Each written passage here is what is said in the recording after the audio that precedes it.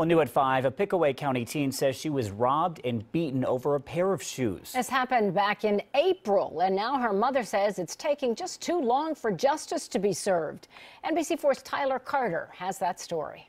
16-year-old Destiny tells me she met her friends here at the mailbox. What she thought was going to be a night of just playing video games turned into them robbing her of her Air Jordan gym shoes terrified that it might happen again. I don't want it to happen again. I don't want to run into him. 16-year-old Destiny Tracewell says she lives in a constant state of fear. I never would have thought that they would have done that. Back in April, she says the teenage boys held her at gunpoint, forced their way into her home, and robbed her of her Air Jordan shoes.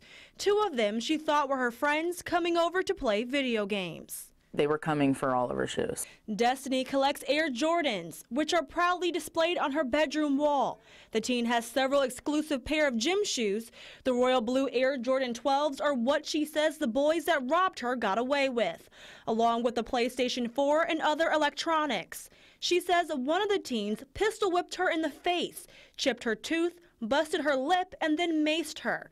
Her mother, Mary Tracewell, was at work during the time of the attack she identified the boys, the two boys that night. So how I feel is they should have been taken in, that something should have happened that night. The Pickaway County Sheriff's Office issued an arrest warrant for Cameron Rogers. He's wanted for aggravated robbery and kidnapping in connection to this case. The other two suspects were juveniles at the time. He threatened to shoot my feet, threatened to end my life. She hasn't healed yet because they haven't been caught yet. They have, and justice hasn't been served. So that's that's why I went to Facebook and put it out there for uh, other parents to watch out for their kids and who they trust. Mary says she just wants justice for her daughter and for these three teenagers to be off the street. Reporting in Orient, I'm Tyler Carter for NBC4.